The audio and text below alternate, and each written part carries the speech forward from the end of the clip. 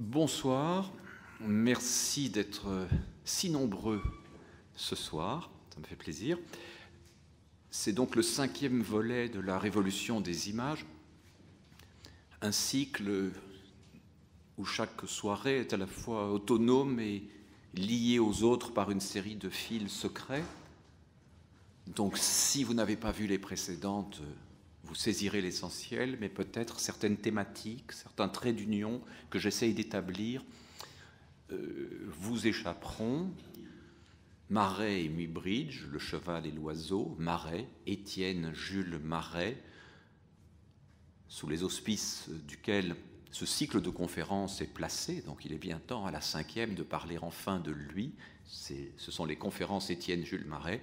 Le voici donc, on y avait fait quelques allusions jusqu'ici, et Edward Muybridge, euh, deux hommes dont les dates de naissance et de mort sont exactement identiques, nés l'un et l'autre en 1830, morts l'un et l'autre en 1904, et liés l'un à l'autre, pas seulement par leur barbe et leur talent, mais également par euh, toute une série de lettres et quelques rencontres, et évidemment euh, des thématiques communes.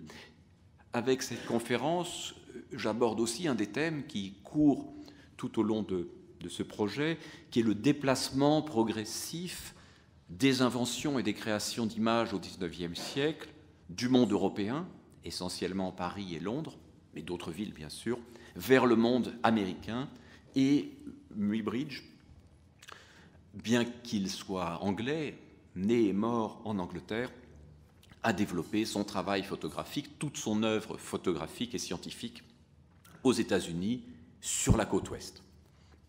Quant à Marais, très grande figure de la science française au XIXe siècle, c'est à Paris que l'essentiel s'est accompli, mais pas seulement. Il passait ses hivers à Naples et y continuait ses expériences. À ma connaissance, il a peu voyagé.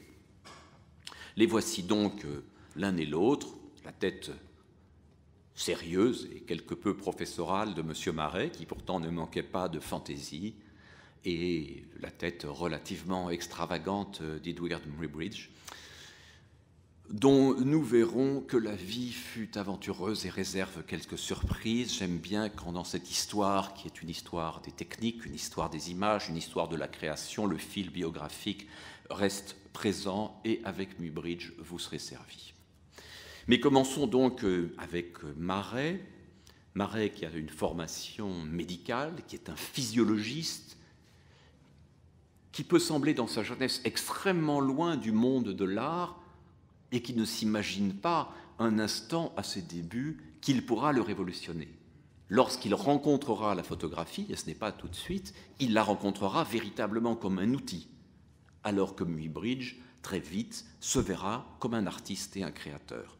Les deux, pourtant, atteindront un niveau d'accomplissement artistique extraordinaire. Marais est obsédé par une chose. Et cette chose traverse toute son œuvre, toute sa vie, quels que soient les contrastes et les, les apparents déplacements de pôles d'intérêt. Cette chose, c'est le mouvement. Et le mouvement, il l'aborde d'abord à partir de la question un peu plus austère et plus strictement médicale de la circulation du sang. Qu'est-ce qui se passe? Comment ça circule? Comment ça se transforme? Comment ça se déplace? Et surtout, comment mesurer?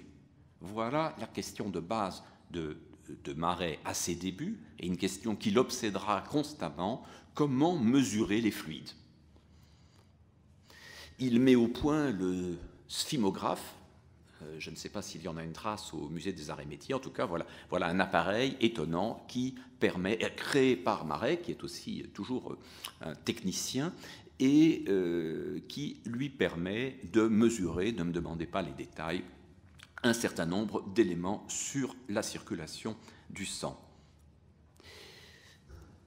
Et Marais, très vite, cherche à trouver une manière graphique de noter tous les résultats scientifiques qu'il découvre.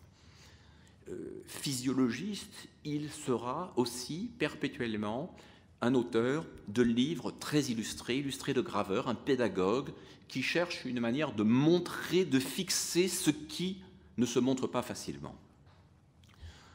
Et il va rencontrer assez rapidement, c'est quelqu'un dont les centres d'intérêt se déplacent très vite, il rencontre le problème de la machine animale, de la locomotion. Vous voyez le sous-titre ici, ou vous ne le voyez pas. Euh, locomotion terrestre et aérienne. Ce sera l'objet principal des cours qu'il dispense au Collège de France, euh, où il est élu assez jeune.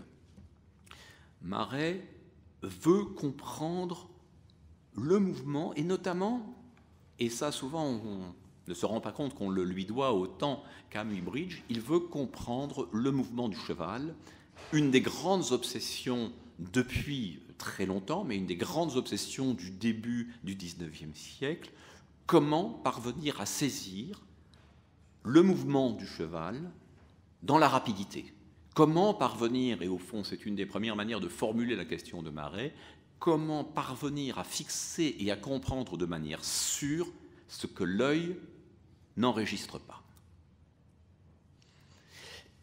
Marais, donc, très vite met au point ce qu'il appelle la méthode graphique et tente de tout transformer en tableau, en ensemble de lignes, de tout traduire sous une forme synthétique bien plus facile à comprendre que le mouvement spontané. Nous retrouvons là des thématiques qui m'avaient intéressé avec Topfer, l'idée que, chez Topfer, que la caricature en sa simplicité fixe mieux l'intelligibilité des choses, d'un visage par exemple, d'une expression, qu'une représentation complète avec les valeurs et les couleurs. La ligne comme privilège de l'intellection, c'est quelque chose qui est tout à fait fondamental chez euh, Marais. Très vite, très vite, il s'agit de comprendre le mouvement de l'oiseau. Nous sommes ici dans les balbutiements de la méthode de Marais, on pourrait même dire dans sa caricature, puisque dans ce premier ouvrage, il en parle, avec le très joli titre courant Durée d'un coup d'aile, euh, il s'agit d'attacher euh, ce malheureux oiseau euh, pour fixer son mouvement, c'est-à-dire d'une certaine façon de nier l'oiseau pour le comprendre. Ce paradoxe-là, Marais comme Muybridge mettront un bon moment à le résoudre. Donc ici, nous voyons que cette figure euh, nous décrit l'oiseau transmettant les battements de ses ailes à un signal électromagnétique et à un myographe inscripteur. Donc ce ne seront que des tracés. Il ne s'agit absolument pas, à ce stade, de photographier. Marais n'a pas rencontré la photographie, et la photographie, au début de Marais, n'a pas l'instantanéité suffisante pour permettre de fixer ce qui l'intéresse. Donc voilà, on tâtonne, on cherche, mais l'intérêt est déjà là.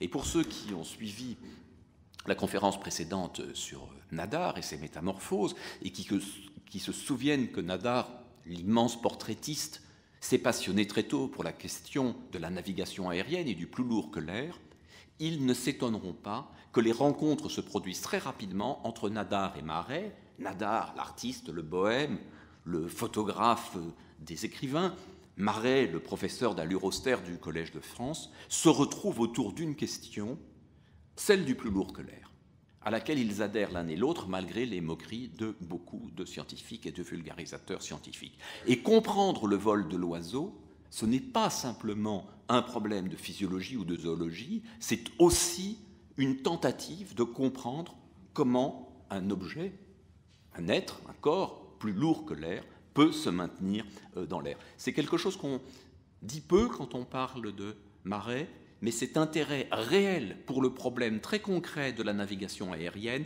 est au cœur de ses recherches, et Nadar le raconte d'ailleurs euh, dans le chapitre où il évoque Marais dans Quand j'étais photographe.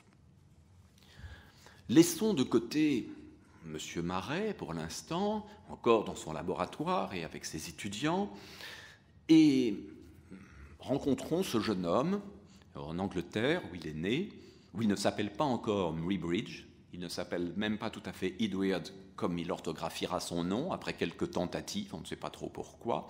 Il est né à Kingston, en Angleterre. Euh, il a fait preuve assez tôt de talent pour le commerce. ses études sont restées relativement modestes et il part tenter sa chance aux États-Unis, comme bien d'autres. Il part en Californie. En Californie, l'encore jeune euh, Muybridge est victime hum, très tôt, et ce n'est pas inintéressant par rapport à ce qui va survenir et ce qui fera sa célébrité, est victime très tôt d'un gravissime accident de cheval. Il n'est pas lui-même à cheval, il est dans une diligence, la diligence se renverse, euh, il a les os euh, brisés, il est tellement gravement atteint qu'il se fait rapatrier en Grande-Bretagne, peut-être a-t-il davantage confiance, malgré la longueur du trajet, dans les médecins britanniques que dans les médecins californiens, et il y passe un certain temps, puisque la guerre de sécession éclate, qu'il juge inutile de revenir aux États-Unis dans cette situation troublée. Il a travaillé un peu dans l'édition, il a vendu des, livres ou des, des, prospectus, on ne sait pas trop de choses sur sa jeunesse, mais pendant le temps de sa convalescence, pendant le temps de la guerre de sécession, Muybridge s'initie à la technique photographique. Et ça, c'est évidemment très important. On est dans un moment où, comme Nadar, la photographie se popularise, où son outillage devient un peu plus simple, et donc euh, Muybridge se passionne pour cette nouvelle technique. C'est quelqu'un de très précis euh, sur le plan du matériel, et donc il va apporter aux États-Unis, lors de son retour, des appareils de très haute précision et réaliser dans un premier temps des paysages absolument somptueux, de paysages encore à peu près intouché. Là, c'est une île à une quarantaine de kilomètres de San Francisco. Vous voyez qu'il euh, s'agit de grandes plaques. On est un petit peu comme euh, avec Nadar dans la technique du collodion humide, mais c'est, même si les personnages sont là pour donner un peu d'échelle à cette vue, c'est essentiellement les lieux qui intéressent Muybridge, dont, selon les quelques témoignages dont on dispose, le caractère a beaucoup changé depuis son accident. Il y a probablement eu non seulement des fractures, mais un traumatisme crânien, peut-être aussi le traumatisme d'une interminable convalescence, peut-être de douleurs récurrentes. On le décrit de plus en plus comme un excentrique, mais comme un excentrique euh, dur, euh, voire acariâtre, méchant, au comportement imprévisible et n'aimant rien tant peut-être que la solitude des grands espaces américains. Le voici ici dans un autoportrait lointain devant un séquoia géant. Et le voici surtout dans ce qui est aujourd'hui le parc naturel de Yosemite, un des plus beaux parcs des États-Unis, dont il fixe des images absolument somptueuses. Je ne vous en montre que quelques-unes. Le parc de Yosemite est toujours superbe aujourd'hui, mais évidemment, il y a une puissance particulière de ces paysages inhabités, de quelque chose qui n'est pas encore considéré comme un parc, mais simplement comme une terre à peu près inviolée. Ce qui est frappant, surtout quand on voit de beaux tirages de ces images, encore plus que ce que je vous montre sur l'écran, c'est le piqué, la précision du cadrage, la profondeur de champ. Ce sont parmi les premiers chefs-d'œuvre de la photographie de paysage aux États-Unis et ils valent à Muybridge très rapidement une haute réputation.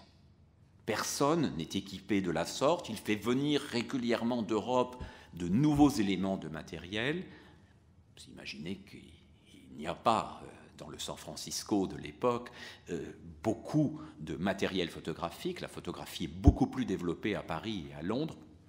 Et donc, cette qualité de son matériel, le soin extraordinaire apporté au tirage font de ces images euh, quelque chose de véritablement resplendissant et qui, aujourd'hui encore, particulièrement en Californie, est considéré comme un patrimoine de tout premier plan. Si nous connaissons le nom de Muybridge aujourd'hui, c'est d'abord à cause des chevaux, d'abord à cause de la locomotion euh, animale et humaine, mais il ne faut pas oublier qu'il aura fixé l'espace et les grands espaces de diverses façons avant de se préoccuper de la question du temps. Il aura d'abord voulu atteindre une profondeur, euh, une profondeur quasi jamais atteinte euh, dans l'image photographique et rarement atteinte dans l'image picturale avant lui, avant de se préoccuper d'une toute autre question qui est de fixer l'instantané, de fixer un autre impalpable. Le mouvement, il est déjà là, quand il s'agit par exemple de photographier une cascade, une chute d'eau.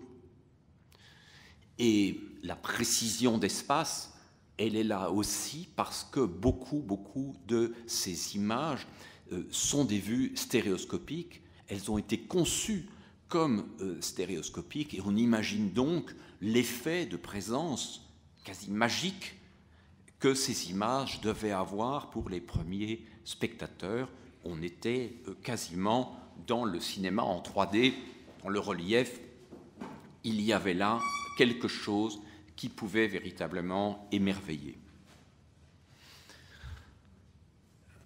Muybridge représente généralement l'humain comme une silhouette minuscule et presque dérisoire, et cette photographie est d'autant plus émouvante qu'il s'agit d'un autoportrait. Photographe au bord du gouffre, et le gouffre sera bientôt là pour Muybridge, mais pas celui du parc de Yosemite. Un gouffre privé. Entre-temps, avant de connaître ce gouffre, je ménage un petit effet de suspense, n'est-ce pas, intense, vous ne serez pas déçus, euh, Muybridge fait une rencontre très importante qui est celle de Leland Stanford. Monsieur Stanford, qui n'a pas encore donné son nom à l'université du même nom, Monsieur Stanford est un des plus brillants hommes d'affaires, et l'un des plus rudes aussi, de la Californie des années 1860-1870. Sa fortune s'est faite par le chemin de fer. Et nous allons voir s'entrecroiser régulièrement, mais de toute façon c'est un élément décisif tout au long du XIXe siècle, nous allons voir s'entrecroiser régulièrement la question du cheval et celle du cheval de fer. Ce qui fait, somme toute, euh, le monde du western, la lutte de ces deux forces, le rail et le cheval, les terres inexplorées dans lesquelles on peut tracer une route droite et tous les vagabondages et digressions que le cheval peut conduire à ménager. Monsieur Stanford, qui est devenu richissime grâce au développement des chemins de fer à travers tout le, tout le continent nord-américain, qui est persuadé que l'impossible n'existe pas, a une obsession. Et cette obsession, c'est le cheval. L'homme du train aime surtout le cheval. Il leur voue une passion. L'un de ses chevaux favoris, un, cheval de course, s'appelle Occident. Et Stanford prend part régulièrement au débat qui agite les milieux hippiques, et pas seulement les milieux hippiques, qui agitent un peu tous les milieux autour de la manière dont le cheval se comporte lors du grand trot, lors du galop. Y a-t-il un moment où ses pattes, ou ses jambes, comme paraît-il, il faut dire, ne touchent pas le sol? De quelle manière faut-il représenter exactement cette chose Il y a des paris qui circulent. Et la peinture, comme nous le voyons ici dans cette image ancienne, ou dans cette image plus récente de Géricault, du début du XIXe siècle, la précédente était du XVIIIe, un peintre espagnol, on sent bien que ces représentations ne sont pas tout à fait exactes, mais jamais un cheval au galop n'a accepté de s'immobiliser pour se laisser dessiner. Il a donc fallu imaginer ce mouvement que l'œil ne parvient pas à enregistrer. Mais des nouvelles machines sont là. Des machines dont les temps de pause sont devenus beaucoup plus rapides et donc devraient permettre d'enregistrer les phases successives de la course d'un cheval. Monsieur Stanford convoque le meilleur photographe de Californie. C'est Muybridge. Il n'y a pas de concurrent, le mieux équipé, le plus audacieux.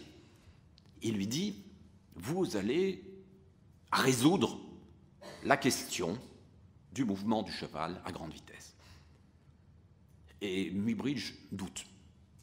Son équipement lui permet de réaliser des paysages parfaits, lui permet de fixer un certain nombre de mouvements, de faire éventuellement l'un ou l'autre portrait, Peut-être pourrait-il photographier le cheval au pas ou au petit trot, mais au grand trot, au galop, sûrement pas. Il dit, je pense que c'est impossible. Stanford lui dit, quand j'ai commencé la grande ligne de chemin de fer qui traversait les États-Unis, c'était bien plus impossible.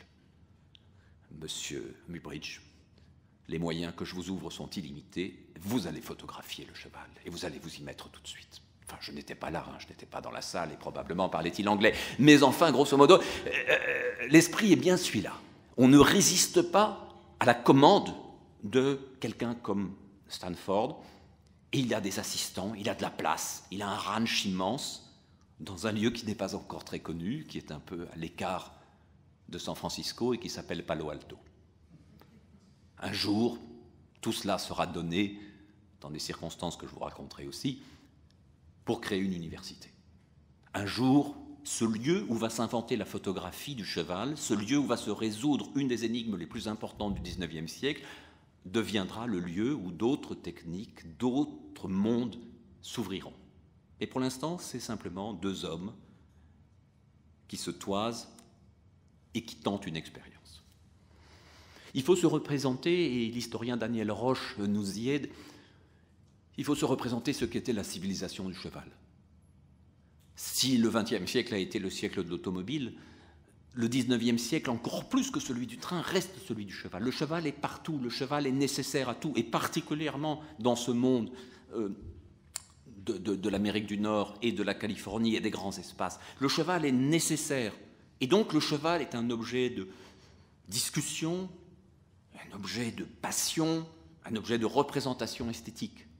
Tout le monde est passionné par cette idée que grâce à Stanford et à Mubridge, on va enfin comprendre ce que fait le cheval. Alors, Mubridge cherche et fait de premières tentatives de prise de vue, privilégiant le contraste très fort du noir et blanc pour que les mouvements se dessinent, et on commence à comprendre. On avance, mais ce n'est pas encore suffisant. Et les recherches vont s'interrompre brusquement. Muybridge, au moment où il faisait ses photos de Yosemite, et peu avant que Stanford euh, l'approche, avait épousé une très jeune femme, Flora, de 22 ans plus jeune que lui, très jolie, et souffrant quelque peu du caractère de son époux, semble-t-il, et surtout de des longues périodes de solitude. Quand Mubridge était à Yosemite, il ne revenait pas très vite. Alors arrive ce qui doit arriver, ou ce qui arrive de temps en temps. Madame Flora Mubridge rencontre un beau militaire, il devient sa maîtresse. Et les rumeurs courent dans San Francisco. On ricane un peu au passage de Mubridge quand il revient. Mubridge se renseigne, sa femme est enceinte sur le point d'accoucher, il a quelques doutes sur la paternité possible de l'enfant. Peut-être les absences étaient-elles très longues, je ne sais pas.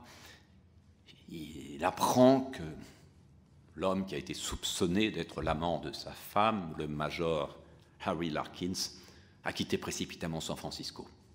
Mubridge est irascible. Mubridge se présente à sa porte, frappe poliment. On lui ouvre dit Voici le message que M. Mubridge a à vous faire en réponse à votre attitude avec sa femme. Il sort un colt et il descend d'un coup le major Larkins. Même dans la Californie quelque peu western de ces années-là, ça ne passe pas. Ça fait quand même un peu mauvais genre. C'est un peu trop. Euh, et donc, euh, le grand photographe, le célèbre photographe, l'employé de M. Stanford, l'homme qui devait percer, qui commençait à percer le secret de la course du cheval, est arrêté comme un criminel et menacé de la potence. Peut-être euh, Stanford fait-il jouer ses influences. Sans doute euh, les juges ont-ils une conception quelque peu virile de la justice. On estime que Mubridge étant à l'affaire l'offensé, il s'agit d'un crime compréhensible, sinon tout à fait excusable. On lui conseille de s'éloigner quelque temps et on lui évite non seulement la potence, mais la prison. Les lectures féministes de l'œuvre de Bubridge aujourd'hui euh, reviennent régulièrement sur cet incident et vous verrez que la question de la femme reviendra dans l'œuvre de Mubridge d'une autre façon. Enfin, le voici, euh, il est à San Francisco, mieux vaut s'en éloigner, laisser son atelier de photographe. Il part au Guatemala, réalise là aussi des paysages sublimes et somptueux de, ruines. Puis, quand quelques mois sont passés, pas beaucoup, sans doute Stanford se rappelle-t-il à son bon souvenir, car tout de même fixer le galop d'Occident est plus important que s'occuper de ruines ou de gérer un fait divers. Et donc il se lance là dans un nouveau projet, rassurez-vous, vous allez le voir mieux, un projet de nature à impressionner, à aller au bout de cette quête de l'espace qui est d'abord la sienne. Et ce nouveau projet, c'est un panorama de la ville de San Francisco. Là aussi, une image qui va connaître un succès considérable, c'est une brochure, un dépliant. Non seulement on voit la, ville de manière aérienne, un peu comme Nadar a pu photographier des quartiers de, Paris, avec une précision extraordinaire, et donc on peut tout situer. Et ça reste aujourd'hui un document de premier ordre sur ce que peut être San Francisco dans sa beauté à la fin du XIXe siècle. Le succès du panorama vaut absolution. Il est temps de passer à autre chose pour Muybridge. Et puis, maintenant, avec cette barbe sévère, cette allure renfrognée, le fils de la malheureuse Flora, Florido, qui a été abandonné dans, un orphelinat et dont on ne parlera plus, on va pouvoir se concentrer sur la question du mouvement des bêtes et peut-être des hommes, même s'il ne s'agira jamais pour Muybridge que d'animal locomotion. Cochons, chats, chiens, chevaux, lanceurs de poids, femmes se baignant, tous seront traités comme des animaux en déplacement et nous ne connaîtrons plus beaucoup d'éléments de la vie privée de M. Mubridge. Il y aura des assistants désormais, des gens pour euh, l'aider, pour lui permettre d'avancer, d'entreprendre l'œuvre colossale qui va être la sienne, fixer le mouvement, non pas seulement du cheval, même si c'est de ça qu'il s'agit dans un premier temps, même si c'est l'enjeu premier, mais fixer le mouvement de tout ce qui bouge sur la Terre. Et ça y est, et ça y est, on avance, ça se précise vers 1878. On avait commencé vers 1872. Vers 1878, on y est. On sait qu'il y a un instant dans la course du cheval où aucune de ses pattes ou jambes ne touche le sol. On voit les curieux mouvements avec euh, un chariot quand on le tire, ou sans, on voit les curieux mouvements, les étranges mouvements si éloignés de ceux représentés par les peintres, même les meilleurs peintres, même les plus observateurs, les plus passionnés. Et voici ces planches qui circulent, qui sont reproduites dans les journaux américains, qu'on se montre, qu'on achète, et qui finissent par traverser l'Atlantique. Pour réaliser cet exploit, il n'était pas question de simplement laisser courir le cheval de le suivre avec un même appareil. Il a fallu mettre au point un dispositif extrêmement compliqué dans le ranch énorme de Stanford. On a placé une batterie de 24 appareils photo et un système de déclenchement par des fils que heurte le cheval en courant et qui parfois l'agacent et peuvent gêner son déplacement, voire créer quelques écarts. Mais il n'y a pas d'autre façon de faire. Chaque fois qu'un fil est arraché euh, ou tiré, je ne sais pas, il déclenche l'appareil et donc ces appareils se déclenchent, euh, déclenchent des vues successives extraordinairement rapprochées. C'est cela le secret de la technique. Vous voyez qu'il y a pas mal de gens dans cette image. Chaque expérience demande des conditions de lumière optimales, mais la Californie les offre, et donc on a un temps de pause euh, extrêmement court qui est possible. On est bien loin de Nadar travaillant dans son atelier parisien rue Saint-Lazare au boulevard des Capucines. Là, on est dans les meilleures conditions possibles. On a les, des chevaux en abondance, même si Occident garde la préférence de Stanford. C'est un cheval de course remarquable. Et donc, vous voyez ici euh, assez clairement, en tout cas on peut voir, je peux voir, qu'il euh, y a 24 euh, box. Aujourd'hui, on parle de 24 images par seconde pour euh, le cinéma. On parle bien sûr aussi de 24 heures pour une journée. En tout cas, voilà, c'est le euh, nombre privilégié utilisé par Muybridge. Ce dispositif, parfaitement adéquat pour le cheval, supposera évidemment un certain nombre de remaniements, de transformations suivant les autres animaux, a fortiori les humains qu'il s'agira de photographier. Tout a été d'abord pensé pour le cheval. Mais ensuite, en fonction de l'échelle, en fonction de la rapidité de mouvement, on devra s'y habituer. Et pour les oiseaux, les oiseaux attendront. Le succès des expériences de Muybridge impressionne à ce point qu'il ne faut que quelques mois pour que la revue La Nature, une importante revue scientifique, un peu mieux qu'une revue de vulgarisation, revue dirigée par euh, Gaston Tissandier, qui est quelqu'un de respecté, il ne faut que quelques mois pour que la nature se fasse l'écho des expériences de Muybridge et ne reproduise un certain nombre d'images. Et là commence une correspondance extraordinaire entre Marais et Muybridge par l'intermédiaire de M. Tissandier. Cher ami, écrit Marais, je suis dans l'admiration des photographies instantanées de M. Muybridge que vous avez publiées dans votre avant-dernier numéro de La Nature. Pourriez-vous me mettre en rapport avec l'auteur? Je voudrais le prier d'apporter son concours à la solution de certains problèmes de physiologie si difficiles à résoudre par les autres méthodes. Ainsi, pour la question du vol des oiseaux, je rêvais d'une sorte de fusil photographique saisissant l'oiseau dans une attitude, ou mieux encore dans une série d'attitudes, imprimant les phases successives du mouvement de ses ailes. Il est clair, continue Marais, même lettre, que pour M. Mubridge, c'est une expérience facile à faire. Et puis quel beau prototype il pourra nous donner. On y verra avec leurs allures vraies tous les animaux imaginables. Ce sera la zoologie animée. Quant aux artistes, c'est une révolution chez eux, puisqu'on fournit les vraies attitudes du mouvement, ces positions du corps en équilibre instable qu'un modèle ne peut poser. La question est admirablement posée par Marais, qui anticipe un peu sur les recherches en cours par Mubridge, mais qui voit la chose. Réponse assez rapide pour l'époque de M. Muybridge. Et cette réponse est surprenante et a dû ravir Marais.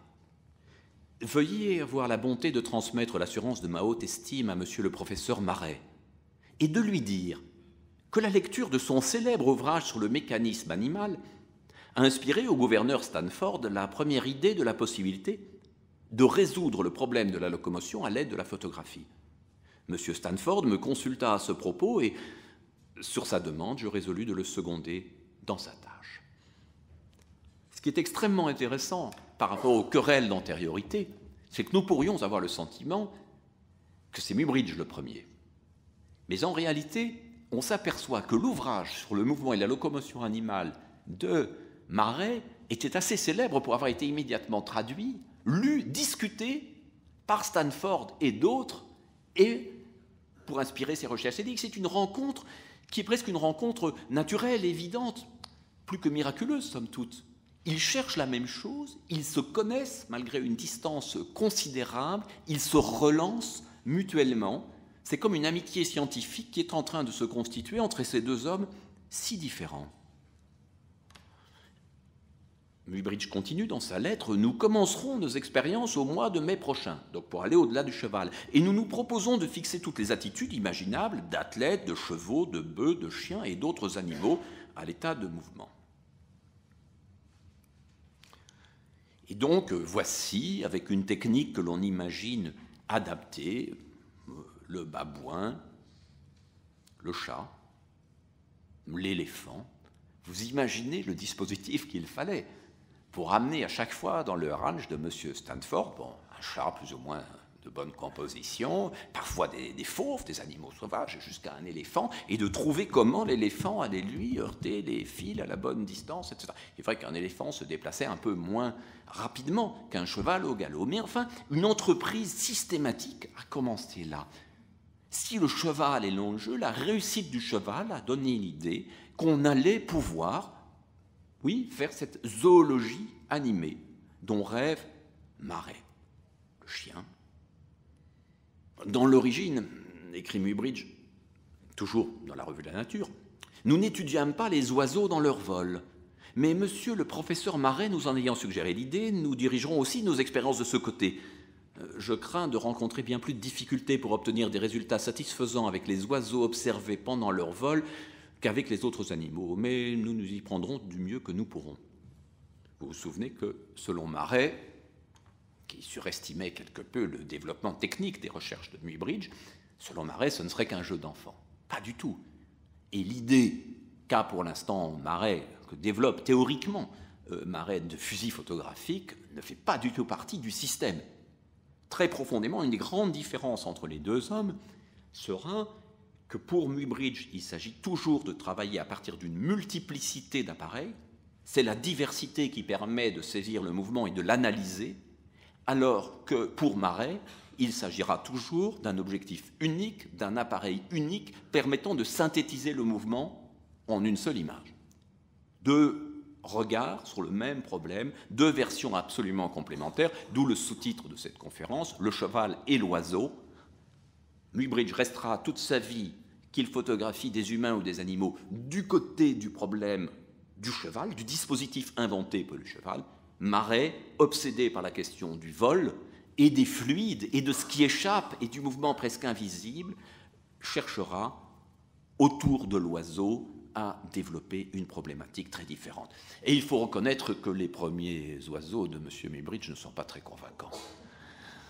Ces autruches marchent comme marchent des chiens, comme marche ce pauvre pélican.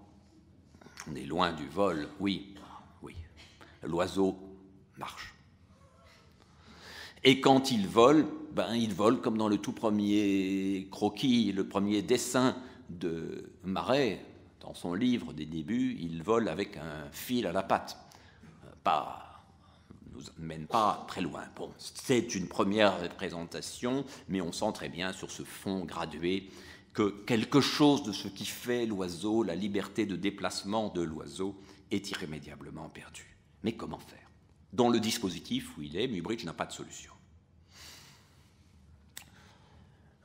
Euh, revoici euh, Monsieur Stanford, intéressé par le développement de ses recherches, mais considérant tout de même euh, Muybridge comme un employé, le voici qui pose pour un grand peintre français. Sans doute, Monsieur Stanford s'est-il déplacé à Londres ou peut-être à Paris c'est Messonnier en personne, le peintre le plus célèbre du temps, grand peintre académique, aux toiles si chères que l'empereur lui-même devait les négocier quand il voulait en acheter, mais pas question de négocier pour M. Stanford. Il pose devant M. Messonnier et acquitte sans difficulté le prix. Si nous observons ce portrait avec attention, et je reconnais qu'il faut être extrêmement attentif, nous pouvons voir euh, sur la droite, au milieu, à côté du coude, une des planches de Muybridge, sur le cheval. c'est un détail infime perdu dans le tableau, mais ce ne sera pas un détail pour Messonnier, pour qui cette question est essentielle. Malgré son caractère quelque peu difficile, M. Muybridge est devenu une célébrité. On lui propose de voyager partout, non seulement à travers les États-Unis, mais en Europe. On veut le recevoir, on veut des démonstrations, on veut entendre l'homme qui a compris le cheval et voir ces images. On annonce, à Londres, notez que le, le cheval à l'arrière-plan n'a rien de très muybridgien pour l'instant, mais on nous annonce, cette conférence avec écran circulaire, que Muybridge va donner. Oui, il intervient à Londres à plusieurs reprises avec un grand succès, et puis il vient à Paris. Bon, ben voilà, les deux villes essentielles du temps pour les questions qui nous occupent. Il a mis au point un appareil qui permet de projeter, et non seulement de projeter des vues successives, mais de les projeter en continuité. Nous reviendrons sur la question des débuts du cinéma dans la septième conférence du cycle, Mais il est très clair qu'avec Mubridge et Marais, on fait un peu plus que flirter avec le cinéma. On est tout près, tout tout près. On a placé les vues sur un disque, et quand on projette, de manière quelque peu saccadée, ce qu'on voit, c'est bel et bien le mouvement du cheval.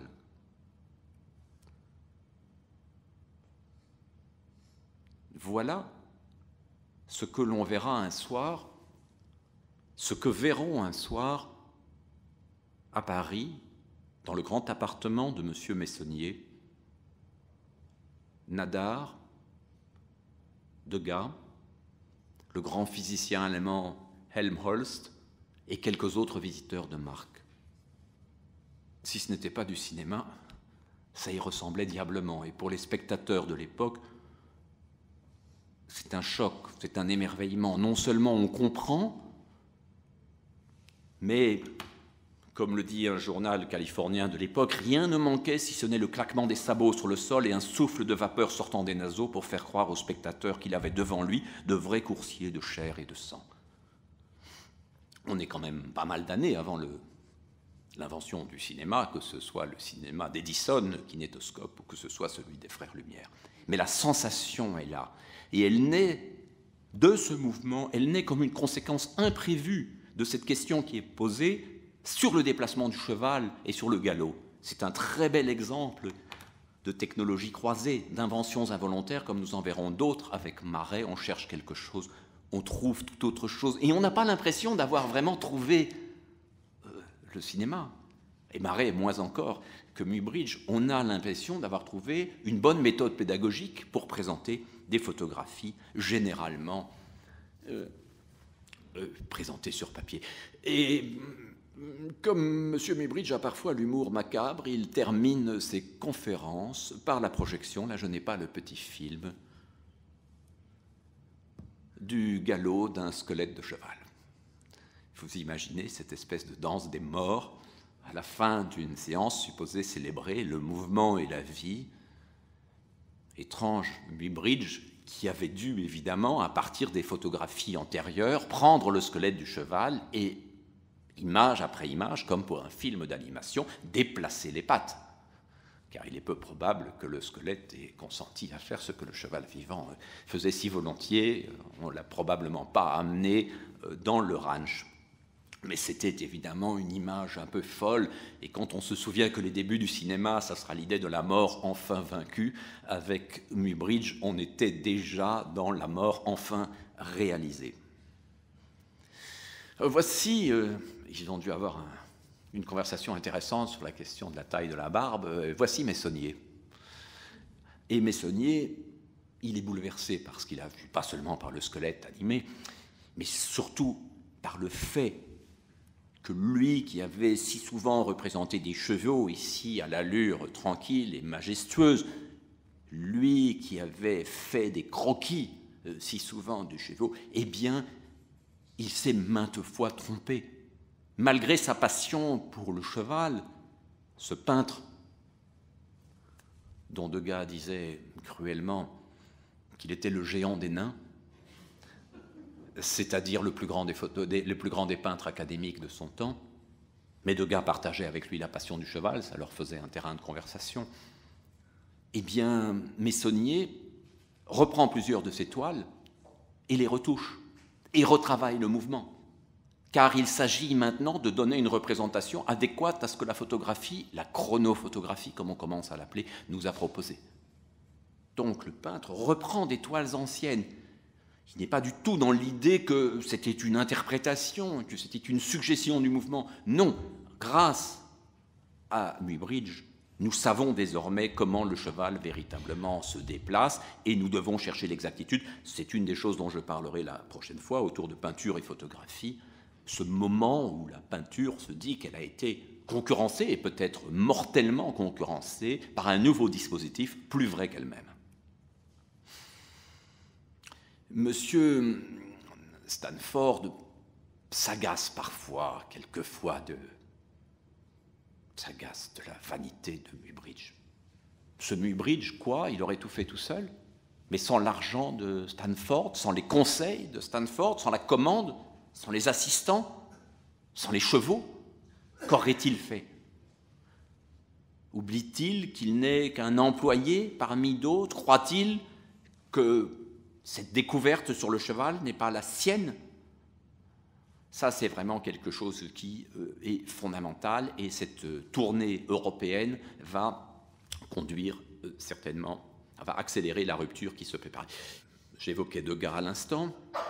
Degas, passionné de chevaux depuis toujours, lui aussi se rend compte que sa représentation du cheval n'était pas tout à fait adéquate, et même si les problèmes qu'il se pose en tant que peintre sont assez loin de ceux de Messonnier, il lui importe tout de même de saisir quelque chose de ce que la photographie a montré, comme si autrement, pour tout peintre, quel qu'il soit, quelle que soit son école et son esthétique, le risque était de tomber tout simplement dans l'obsolète. Peinture dépassée, montrant un ancien état du savoir, peinture devenue inutile. Et donc on essaye de tirer profit, quel que soit le style, de ce qui a été montré. Et bien d'autres peintres, Whistler, beaucoup d'autres, qui voient ces images, et beaucoup de spectateurs se persuadent désormais que le temps des représentations conventionnelles de la course du cheval est passé. Revenons à M. Marais, ici photographié par son ami Nadar. Marais qui se souciait depuis ses débuts, on s'en souvient, du, de l'oiseau, qui, au moment où il ne se préoccupait que de fixer des lignes, euh, pouvait se contenter de cet expédient du pauvre oiseau attaché à une corde.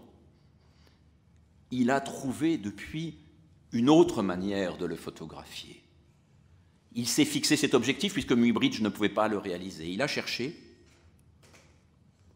Ce sont des images encore imprécises, insatisfaisantes. Il n'a pas la formation de photographe de Muybridge. Il ne se vit pas comme un artiste, c'est un scientifique, il a du travail, il a des cours à assurer.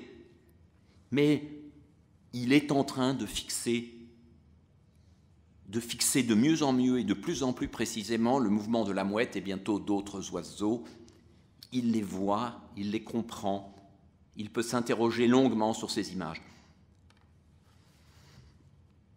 Il écrit à sa mère, J'ai un fusil photographique qui n'a rien de meurtrier, et qui prend l'image d'un oiseau qui vole, mais qui peut fixer l'image d'un oiseau en vol ou d'un animal qui court en un temps moindre d'un cinq centième de seconde.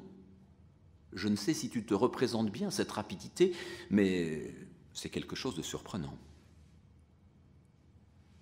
Et le voici, ce fusil pacifique que nous pourrions recommander à tout un chacun, le fusil de Muybridge avec son dispositif de rotation. 25 images cette fois-ci, comme la télévision, non pas 24 comme le cinéma, 25 images, on déclenche et on suit l'oiseau. Et ce qui est extraordinaire avec le fusil, c'est qu'on vise. Et donc on peut accompagner un mouvement à la trajectoire incertaine. L'oiseau peut descendre, monter, revenir. Si l'opérateur est ingénieux et astucieux, il peut l'accompagner. Alors quand nous le voyons représenté dans euh, l'ouvrage Le Mouvement de Marais, on pourrait penser que le fusil est agressif. Mais il n'a jamais tué le moindre oiseau, même si l'idée de partir du mécanisme du fusil était extrêmement habile et ingénieuse, usage plus recommandable que celui de Muybridge avec son Colt, euh, et usage aussi surprenant et brillant que celui qu'Antoine Lumière, non, que, Louis Lumière fera de la machine à coudre au moment où il perfectionnera l'invention du cinéma. Prendre un outil courant, le transformer quelque peu, l'adapter à son propre usage, plutôt que de tout construire et réaliser un bond technologique. Et voici un pélican qui ressemble cette fois à quelque chose. C'est plus le pauvre pélican qui marchait pesamment. Ce pélican vole. Dans cette image synthétique, ces images rassemblées auxquelles Marais restera toujours fidèle, il y a quelque chose de superbe. Chaque, étape du vol prépare la suivante, la continue. On est dans une sorte de, de fondu enchaîné, de vol ininterrompu. On est dans une image impossible, évidemment, ce que personne n'a jamais pu voir, mais qui nous permet, par exemple, de mesurer la manière dont le pélican ici est en train de se poser. On n'a pas besoin d'être dans la trajectoire rectiligne de M. Muybridge. Et donc, euh, Marais consacre bientôt un ouvrage entier au vol des oiseaux, faisant part de ses expériences sur plusieurs types d'oiseaux, en tirant des conséquences sur la future navigation aérienne, etc. Et lui aussi, sans doute émerveillé par euh, les techniques de présentation de Muybridge, ben lui aussi place ses photographies sur un disque de manière à pouvoir les projeter. Et puis il a d'autres idées. Il utilise un dispositif qu'on connaissait, le phénakisticop, qui en faisant tourner la structure euh, permet, là il parle de zootrope, mais c'est un peu pareil, permet de voir à travers une fente le mouvement, d'avoir l'illusion du mouvement. Et puis, il réalise des objets de plus en plus curieux, des représentations tridimensionnelles, des sculptures qui vont se transformer à la fin de sa vie en véritable création esthétique. Car c'est une des choses étranges, c'est que, à mesure que les préoccupations scientifiques envahissent Muybridge, les préoccupations artistiques, esthétiques, peut-être par la fréquentation des artistes ou d'un photographe comme Nadar, prennent de plus en plus de place chez Marais. Revenons à Muybridge. En rentrant aux États-Unis, il a la détestable surprise de découvrir un petit livre, The Horse in Motion, executed and published under the auspices of Leland Stanford. Le nom de Muybridge est mentionné au détour d'une page. Un assistant, un serviteur, quelqu'un qui passait par là, un technicien. Mais c'est le producteur qui a réalisé les expériences. Muybridge est blessé au plus profond, se dispute avec Stanford, dont le caractère lui-même se durcit et dont les recherches scientifiques deviennent moins importantes depuis la mort accidentelle de son fils, que l'on voit représenté ici. C'est après la mort de son fils que Stanford, se désintéressant de plus en plus des affaires et n'ayant pas d'autres enfants, décidera de léguer son ranch et tout ce qui est autour euh, pour la création d'une université qui aura le succès que l'on connaît, donc l'université de, Stanford. Et c'est en Pennsylvanie que Muybridge poursuit désormais ses recherches et les étend il publiera plusieurs livres, étudiant assez largement, probablement en disant au départ que c'est plutôt à destination des artistes, en euh, étudiant euh, les mouvements humains bien plus que les mouvements des animaux, l'avantage des humains étant qu'on peut leur faire exécuter des actions diverses au gré des demandes, qu'on peut discuter avec eux, on peut donc les armer d'une pioche ou d'autres outils, les habiller comme on le souhaite ou les déshabiller, et étudier pour le bénéfice des artistes ou des curieux ou pour des buts plus étranges leur manière de se déplacer. On trouve beaucoup de séquences sur Internet, hein, vous pourrez assez facilement en trouver. Il y a aussi un énorme livre qui rassemble les séquences montées de Mubridge, dans, euh, publié par les éditions Tachen, qui est fort bien fait. Euh, cette séquence que j'ai retrouvée euh, hier m'a ravi. On croirait y voir une prémonition de Buster Keaton.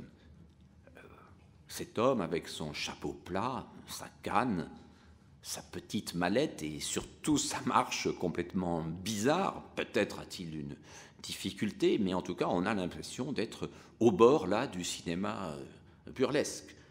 On ne sait pas trop à qui et à quoi cette séquence peut servir. Sinon, et, vous la voyez sous-titrée en bas, évidemment, par Animal Locomotion, ce qui est toujours délicieux parce que c'est le petit refrain qui accompagne les séquences, quelles qu'elles soient. Mais on est déjà là dans un autre monde, on est bien loin du cheval, la technique s'est perfectionnée, vous sentez toujours la grille euh, derrière, on n'a plus besoin euh, d'avoir des petits fils, on peut déclencher d'une autre manière, et puis surtout, on organise sa page comme une quasi-narration. Euh, on joue de la face, du profil, du dos, on compose, on part dans un sens, dans un autre, et comme les historiens le voient et le savent de plus en plus, on arrange on triche, on prend ses libertés avec l'exactitude. Quand une prise de vue est ratée, on la déplace, on la transforme. Et quand une page ne tombe pas tout à fait bien, on propose un autre agencement. Alors il y a des pages qui sont purement scientifiques, mais les plus belles, les plus sensibles, les plus intrigantes sont celles dont la véritable finalité euh, nous échappe et nous laisse entrer dans l'imaginaire de M. Muybridge, un des premiers metteurs en scène de ce qui ne s'appelle pas encore le cinéma, mais qui ressemble fort. Une jeune dame avec un, un éventail. Une autre, ou la même peut-être, euh, avec une ombrelle. Monsieur Mubridge donnant ses indications à un athlète. Beaucoup des planches de Muybridge sont faites avec des personnages nus. C'est évidemment euh, d'un grand intérêt pour remplacer le dessin d'académie, pour avoir des attitudes, comme le disait euh, euh, Marais dans une de ses lettres, avoir des attitudes qu'aucun modèle ne peut prendre, c'est-à-dire fixer quelque chose qu'on ne pourrait pas tenir comme une pose, puisqu'après tout, le dessin d'académie était lié à cela. Mais c'est aussi par-delà l'utilité réelle et la décomposition euh, extraordinaire de certains mouvements, c'est aussi le début des extravagances qui vont se faire grandissantes euh, avec l'œil bienveillant, sous l'œil bienveillant de l'université de Pennsylvanie, euh, de Monsieur Muybridge. Il est certes intéressant de frapper avec un maillet, de se retrouver dans une situation de, forgeron, d'enclume, mais c'est évidemment beaucoup plus insolite de le faire en étant nu. La lutte euh, est intéressante, elle aussi, à développer. Mais on sent, euh, sans vouloir faire de statistiques, que lorsque les actions sont accomplies par une dame, une jeune dame, elles sont encore plus amusantes. Euh, on ne peut pas dire que la variété des âges dans les photographies et les séquences photographiques de Mibridge euh, soit très grande. Il s'agit plutôt de personnages jeunes et bien faits, accomplissant des actions pour la plupart gracieuses. Alors voilà, on fixe la sortie de bain, on pourrait se croire presque chez Degas. Dans une des séquences les plus célèbres, et j'y reviendrai bien sûr, une dame descend un escalier. Elle ne sait pas que descendre un escalier dans son plus simple appareil est promis à un avenir extraordinaire dans l'histoire de l'art, qu'elle inspirera du chant jusqu'à Gerhard Richter. Mais elle le fait avec grâce. L'eau inspire énormément Muybridge. Alors bien sûr, saisir l'eau, comme les cascades du parc de Yosemite, c'est saisir déjà le fluide, le mouvement, euh, ce qui échappe. Mais éclabousser, c'est donner à l'image un caractère euh, plus amusant. Alors, une tendre scène maternelle,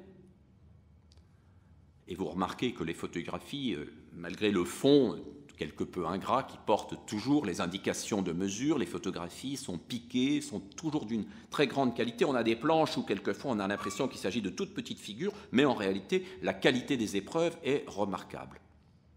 Mais alors voilà, on peut avoir un peu d'insolite aussi, la fessée. Le hamac, encore quelques mouvements de danse très gracieux avec le plaisir des tissus, ah, celle-là je vous l'ai déjà montré. Et puis voilà, on, provoque un choc de surprise. On lance un seau d'eau sur une, dame lance un seau d'eau sur une autre pauvre dame qui en est toute, toute saisie. Et euh, on imagine la manière dont on mettait en scène euh, dans les locaux, dans les studios de l'université de Pennsylvanie, ces premiers films immobiles.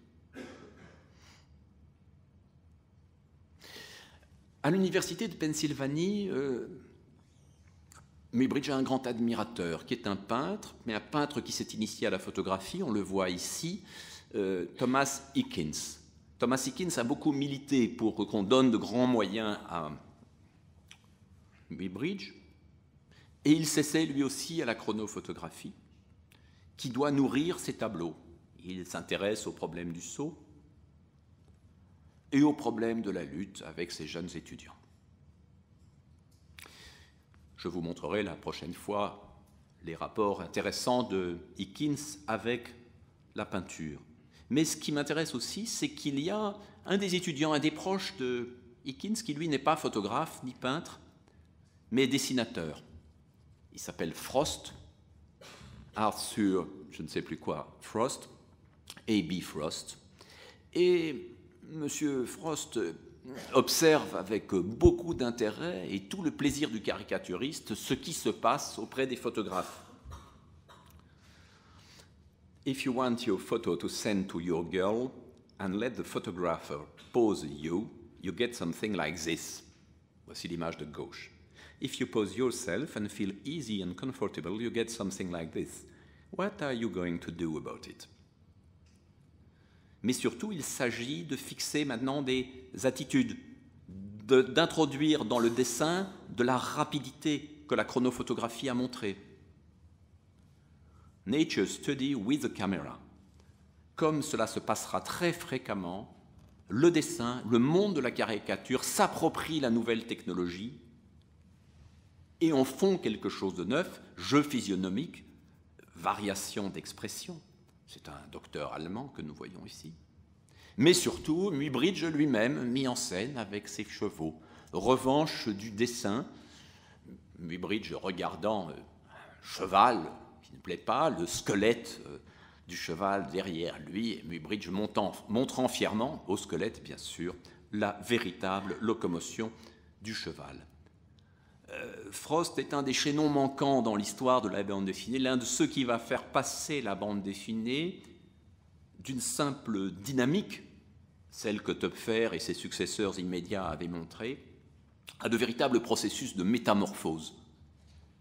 Il aura fallu, il faudra, j'y reviendrai, et la chronophotographie et Darwin pour que quelque chose de neuf se passe dans la bande dessinée, pour que, somme toute, on puisse passer de Gustave Doré et Topfer à Winsor McKay et quelques autres. Encore en aller-retour, Marais dans son laboratoire, poursuivant ses recherches de plus en plus passionné par la photographie, mettant en place des appareils de plus en plus sophistiqués pour des usages de plus en plus divers. Voici un photochronographe à disque tournant, donnant des images successives sur une plaque à des intervalles de temps égaux et connus. Là, c'est le calcul, on revient à la passion de la mesure, rendre les choses égales, rendre les conditions égales pour fixer ce qui est inégal, pour fixer ce qui est variable. Alors tout ce système de crénelage qui va permettre d'enregistrer la chute d'un chat, par exemple, et puis de l'expliquer. Car pour Marais, contrairement à Mibridge, les images ne se suffisent pas. Chute d'un chat vu de côté, nous dit-il. La succession des images se lit de droite à gauche et se poursuit de la série A à la série B important. On n'est pas dans la lecture à laquelle la bande dessinée nous a habitués.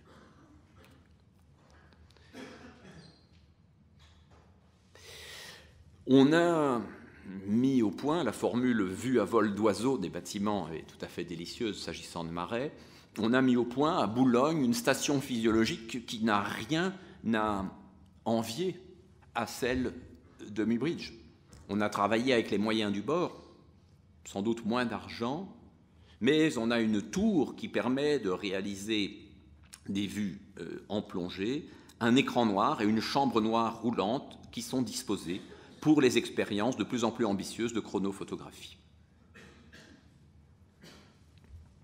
Voici Marais et son assistant Demeny, qui sera un personnage très important, avec un petit chevreau qui a l'air de beaucoup les intéresser.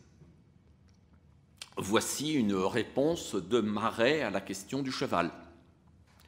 Cavalier euh, arabe, costumé peut-être, je ne sais pas, passant devant ses appareils. Un cycliste, et l'invention du vélo est toute récente. Comment se comporte-t-on à cheval? Ici, exceptionnellement, le modèle est nu, mais ce n'est pas le dispositif que privilégie Marais, qui reste un adepte de ce qu'il appelait à ses débuts la méthode graphique. Ce dont il s'agit pour Marais, c'est de se rapprocher, somme toute, de la lisibilité du dessin.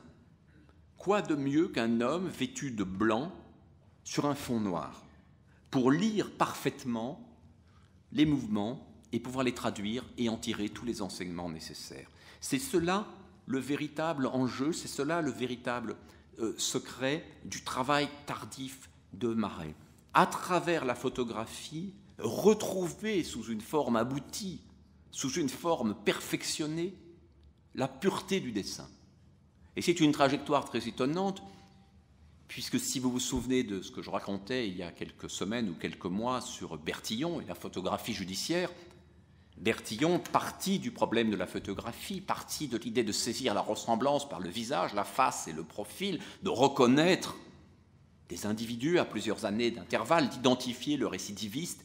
Bertillon, peu à peu, s'était découragé de la méthode photographique, nous avait dit la photographie apprend peu, elle n'est pas assez lisible, et c'était lui aussi, on est dans les mêmes années que Marais, mais par un tout autre cheminement, c'était lui aussi rapproché peu à peu de la notation graphique. Ce qui est étonnant, c'est que Marais, connu quand même avant tout pour son travail photographique, est parti de la méthode graphique et va insensiblement s'en rapprocher. Le modèle blanc, le fond noir, la lisibilité, mais en même temps toujours ce jeu très étrange de superposition qui, dans les mouvements lents surtout, nous le sentons en haut, euh, crée une forme de confusion les images de superposent, elles nous donnent comme l'illusion du mouvement, mais pas l'impression du euh, mouvement. Merleau-Ponty, qui s'est beaucoup, beaucoup, intéressé à, à Marais, parlait de variations zénoniennes sur le mouvement. vous connaissez euh, Zénon, philosophe euh, antique, chanté par Paul Valéry dans le cimetière marin.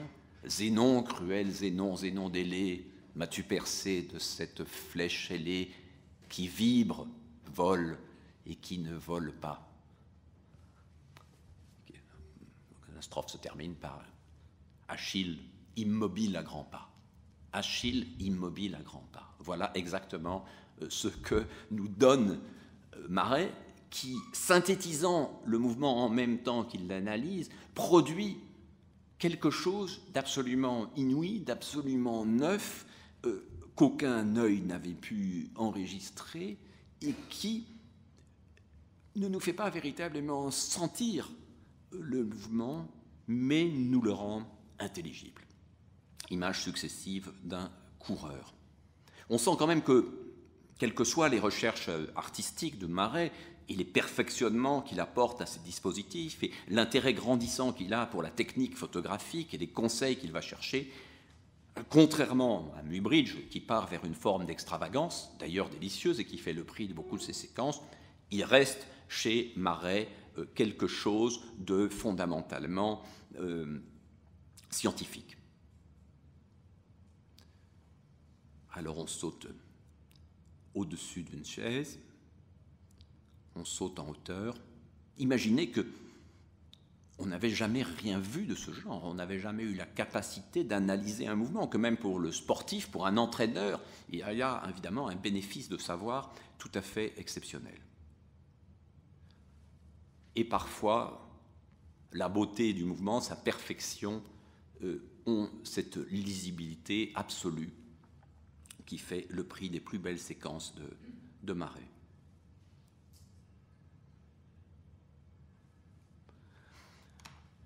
Il écrit dans son livre Le Mouvement, qui est l'un de ses plus importants, un des bilans de sa recherche, Lorsque la chronophotographie traduit les attitudes successives d'un objet en mouvement, elle nous le montre tout autre que nos yeux nous le font voir. En chacune de ces attitudes, l'objet paraît immobile et les actes qui se sont produits à des instants successifs sont réunis en une série d'images, comme s'ils étaient simultanés. Ces images s'adresse donc plus à l'esprit qu'au sens. Voici que la ligne va commencer à triompher.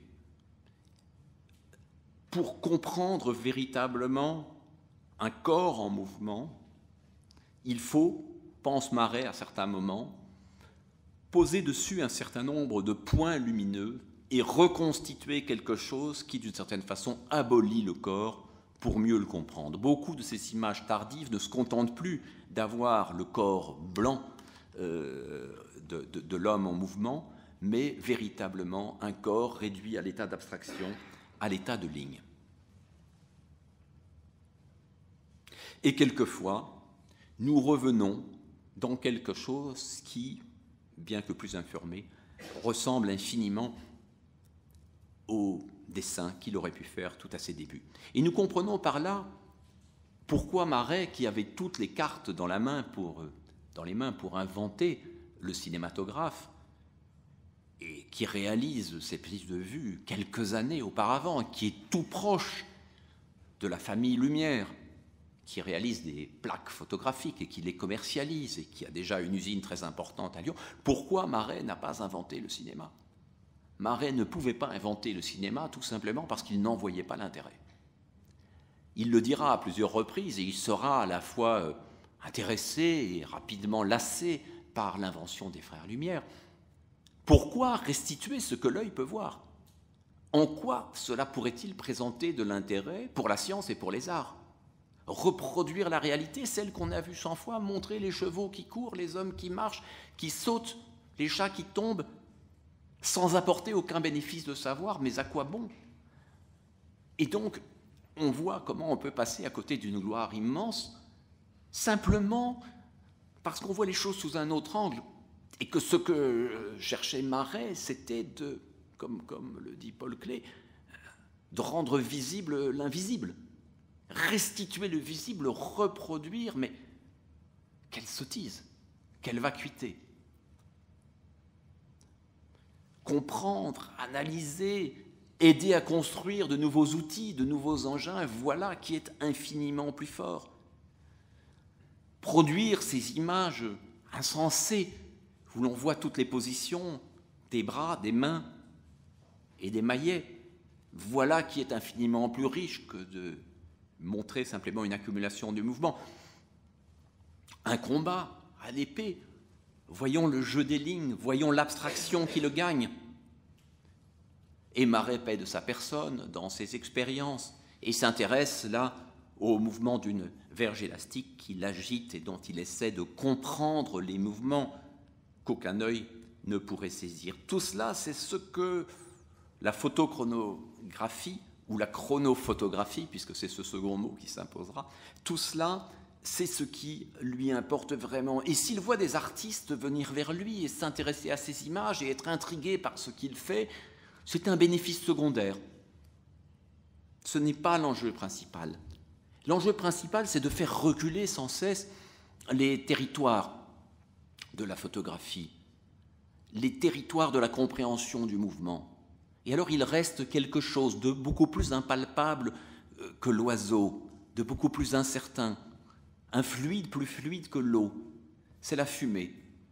Alors on va, dans les dernières années de la vie de Marais, ce qu'on pourrait appeler son devenir euh, Kandinsky ou Mondrian, s'attacher à fixer les mouvements provoqués de la fumée et produire euh, des images insolites, des images magnifiques, des images par certains côtés peu compréhensibles et dont l'usage scientifique même paraît plus incertain. Mais c'est finalement le même mouvement, la même trajectoire que celle qui, dans sa jeunesse, comme médecin, l'amenait à tenter de comprendre le mouvement du sang qu'il ne pouvait observer. Et si ces images sont belles, si ces images ont dû le ravir, eh bien tant mieux.